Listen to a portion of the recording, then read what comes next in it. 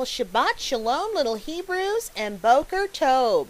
This Shabbat, we will have the first monthly lesson in our Hebrew Heritage History series. Today, we will explore and learn about our people escaping Yerushalayim up to the slave ships. Little Hebrews, we will begin by looking at Psalms 83, verses 3 and 4, which say, they have taken crafty counsel against thy people, and consulted against thy hidden ones. They have said, Come, and let us cut them off from being a nation, that the name of Yisrael may be no more in remembrance. Little Hebrews, this means that those that know who we are, but do not want others to know who we are, so they do sneaky things against our people and talk and plan against our people. Psalms 83 and 30 calls us Yah's hidden ones because many people do not know that we are the Hebrews spoken of in the scriptures. The truth about who we are is being hidden from them, and even more, it's being hidden from many of us little Hebrews. When Yah took away our heritage and scattered us into all the nations, he said that we would not know who we are. So, we can see Yah has used other nations to take who we are right out of our memories. So let's look at how this happened. As we know, our ancestors, well, some of our ancestors, did not obey the laws and commandments of Yah. And Yah placed the curses upon our people as he promised. He would do this in Deuteronomy 28. Little Hebrews, even though Yah said he would take from our memories who we are, Yah also left a sign up on us so that when he started awakening us, and we started turning back to Him in these latter days, we would know that we are Hebrew. Little Hebrews, a long, long time ago, way back in 70 BCE. Now, BCE means before the Common Era. Israel was divided into two kingdoms. So we were split apart from each other, and ten tribes of our people were taken into the northern kingdom where the Assyrians were. Little Hebrews, these Assyrian people were so mean to the Hebrews, they would impale our people, which means they would hang the Hebrews on stakes to torture them. The Assyrian king, Sennacherib, would brag about how he tore down many of our towns and villages and how badly he treated our people. The Assyrian king brought with him men from Babylon and took them into the cities of Samaria, which is northern Israel, and placed these Babylonians there instead of the Hebrews. So he did a switcheroo. We can read this in 2 Kings 17 and 24. Now, the tribes of Judah, Levi, and some parts of Benjamin stayed in our land and told everyone that they served Yah. But you know what? They really didn't show it. So 200 years later, Judah was punished by Babylon starting in the year 606. The Babylonians, along with the Africans and the Arabs, began to, listen to this word, extort, make our people pay them to protect us. Hmm.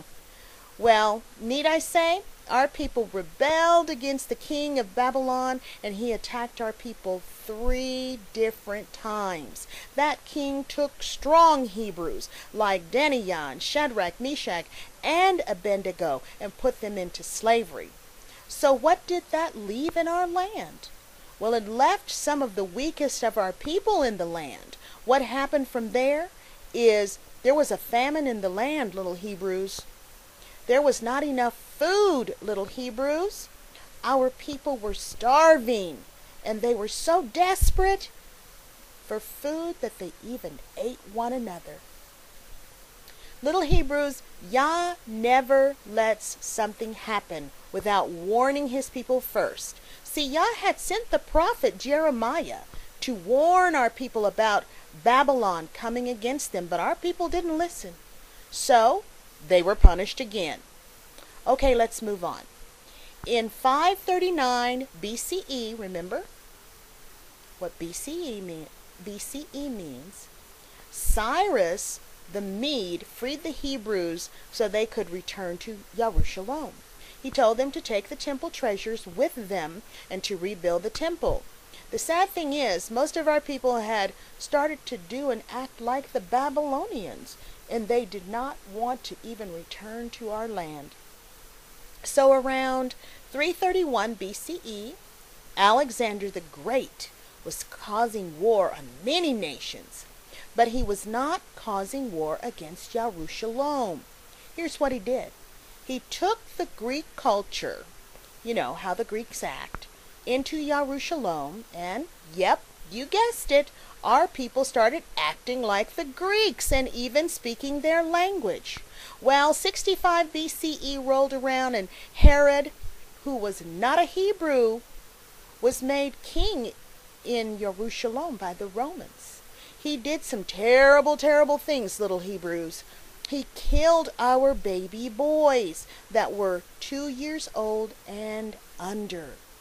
In 66 AD, Hebrew Israelite zealots rebelled and fought against Rome, ruling over Jerusalem. But Rome sent many more soldiers into, into Jerusalem to take over. So many of our people ran away from Jerusalem and down into Africa. They went there to hide. Scriptures say in Deuteronomy 25 25, Yah shall cause thee to be smitten before thine enemies. Thou shalt go out one way against them, and flee seven ways before them, and shalt be removed into all the kingdoms of the earth. Little Hebrews in 70 AD, more Roman soldiers were sent to Jerusalem to completely take over and destroy the temple.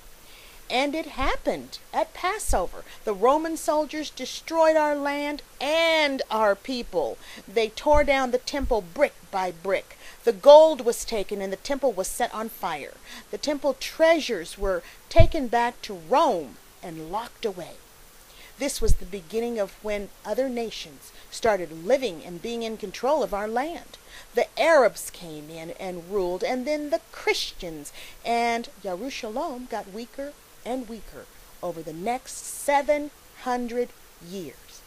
Well, the Ottoman Turks came in in 1517 and took over Jerusalem, and our people were fully under the curses.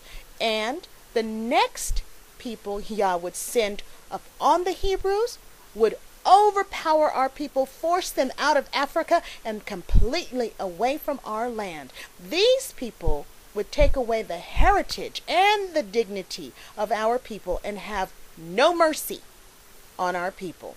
Little Hebrews, Yah warned our people in Deuteronomy 28 and 68, and Yah shall bring thee into Egypt again with ships by the way whereof I spake unto thee. Thou shalt see it no more again. And there ye shall be sold unto your enemies for bondmen and bondwomen, and no man shall buy you. The ships came, little Hebrews, just like Yah warned our people that they would. And they forced our people out of Africa and into those ships, exactly as Yah had warned. And that, little Hebrews, is the first lesson in our monthly Hebrew Heritage History series from escaping Jerusalem to the slave ships. And now we will ask you some questions. Shalom.